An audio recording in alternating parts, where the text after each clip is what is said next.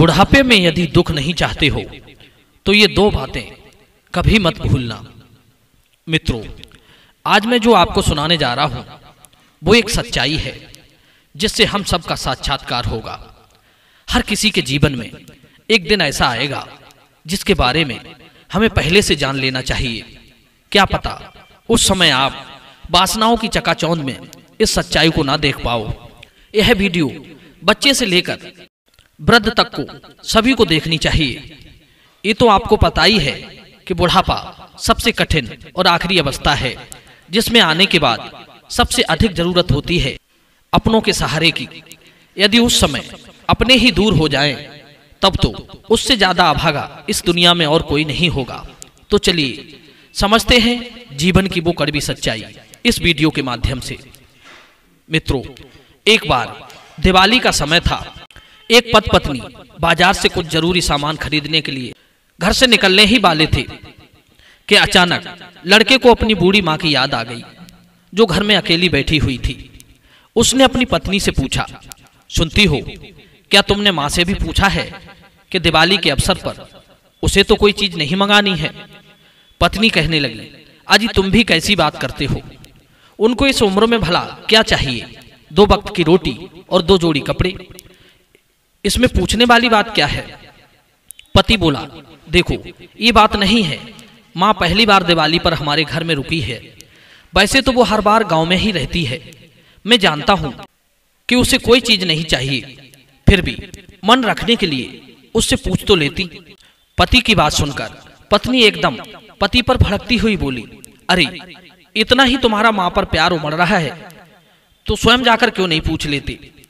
और इतना कहकर वो बैग लेकर झल्लाती हुई घर से बाहर निकल गई। पत्नी को नाराज़ देखकर बेटे का मन नहीं माना, वो अपनी माँ के पास पहुँचा और बोला, हे माँ, हम दिवाली का सामान खरीदने बाज़ार जा रहे हैं। यदि तुम्हें कुछ चीज़ चाहिए तो बता दो, हम लेते आएँगे। माँ कहने लगी, बेटे, मुझे कुछ नहीं चाहिए। लड़के ने फिर पूछा, हे माँ, बता दो, जो तुम्हारी इच्छा हो। बेटे की जिद देखकर माँ ने कहा, ठीक है, यदि तू नहीं मानता है तो रुको, मैं तुम्हें कुछ लिख कर देती हूँ।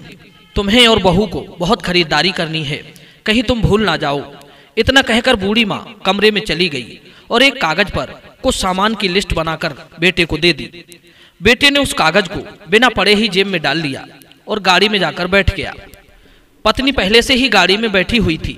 लड़के ने अपनी पत्नी को सुनाते हुए कहा, देखो, मैंने तुमसे कहा था ना कि माँ से भी पूछ लो। यदि कुछ मंगाना हो तो माँ ने भी अपना कुछ सामान पर्चे में लिखकर दिया है। कहते हैं, इंसान जब तक ज़िंदा रहता है, रोटी और कपड़ों के अतिरिक्त उसे बहुत कुछ चाहिए होता है।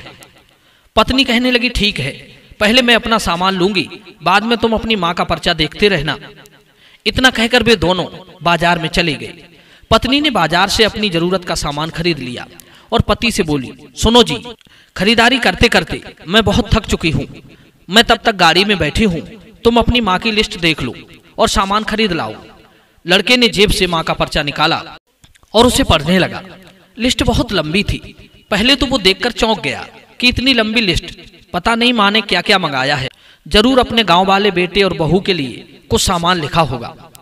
पति की बात सुनकर पत्नी तपाक से बोली, और बनो सरवर कुमार, माँ के सामान के बिना तो तुम्हारी रोटी नहीं पच रही थी।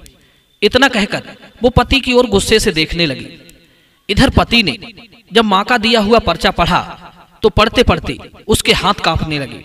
उसकी आँखें भर आई उसका पूरा शरीर काँप रहा था।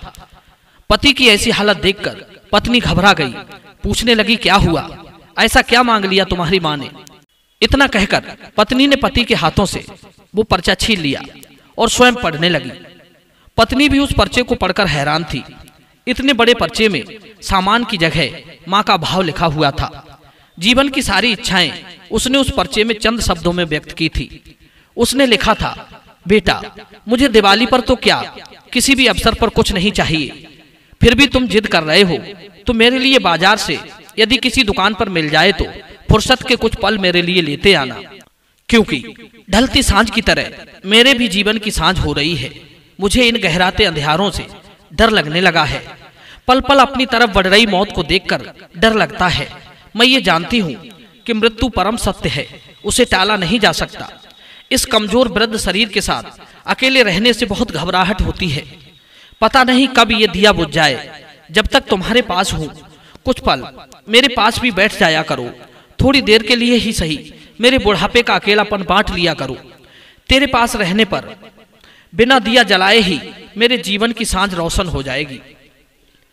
कितने सालों से मैंने तेरा स्पर्श नहीं किया है एक बार मेरी गोद में सर रखकर लेट जाना। मैं ममता भरी हथेली से तेरे सर को सहलाऊँगी। अपनों को अपने करीब पाकर मैं मौत से भी हंसकर मिलूँगी। क्या पता अगली दिवाली तक रहूँ या ना रहूँ। मित्रों, माँ के भावों की अंतिम लाइन पढ़ते पढ़ते पत्नी भी फपक फपक कर रोने लगी। मित्रों माता पिता जब बूढ़े हो जाते हैं तो हम लोग अपने घर में उन्हें बूढ़े और बुढ़िया की श्रेणी में रखते हैं। जिस वक्त उन्हें हमारे सहारे की सबसे बड़ी ज़रूरत होती है, उस समय ही हम उन्हें अकेला छोड़ देते हैं। एक तो बढ़ती उम्र और छीड़ होती सारी शक्तियाँ, कमज़ोर आँखें और शिथिल हाथ पैर, ऊपर से अपनों की दूरियाँ उन्हें और कमज़ोर बना देती हैं। ऐसे में, वे जाएँ तो कहाँ जाएँ? दुख दर्द की बातें, सुनाएँ तो किसे सुनाएँ? जीवन में बड़े बड़े दुख देखे, तूफानों से भिड़ गए, फिर भी अपने को कमज़ोर नहीं पड़ने दिया। आज जब उनके अपनों ने उन्हें अकेला छोड़ दिया तो वे टूट कर बिखर गए। सारी आशाएँ टूट गईं।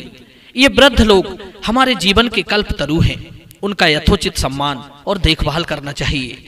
यह सोचकर कि अब हमारे भी बूढ़े होने के दिन निकट आ गए हैं। कहीं हमें भी, हमारे अपने हमें छोड़कर अकेला ना कर दें। उसकी तैयारी आज से ही शुरू कर दो। क्योंकि मित्रों, हमारे अच्छे बुरे कर्म देर सवेर हमारे पास लौटकर ज़रूर आते हैं। जैसा हम बोते हैं, वैसा ही हमें काटने को मिलता है। यदि कोई पत्नी अपने पति की बूढ़ी माँ को फूटी आँख भी नहीं देख सकती, उस माँ से उस बेटे को दूर करती है तो याद रखना, वो दिन दूर नहीं, जब तुम्हारे बेटे की बहू तुमसे तुम्हारा बेटा छीनकर दूर ले जाएगी। ये बूढ़े लोग कहीं से बनकर नहीं आते, हम ही तुम उम्र के साथ बुढ़ापे की उस दयनीय अवस्था को पहुँचते हैं।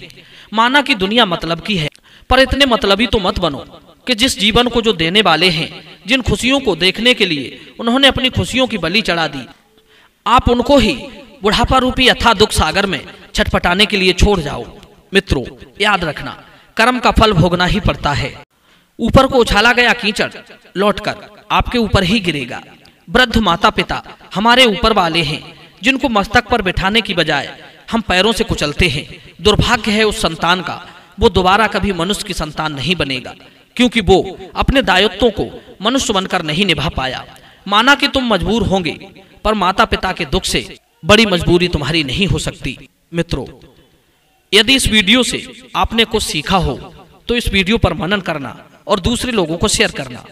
चलिए, मिलते हैं अगली वीडियो में नई ज्ञान चर्चा के साथ।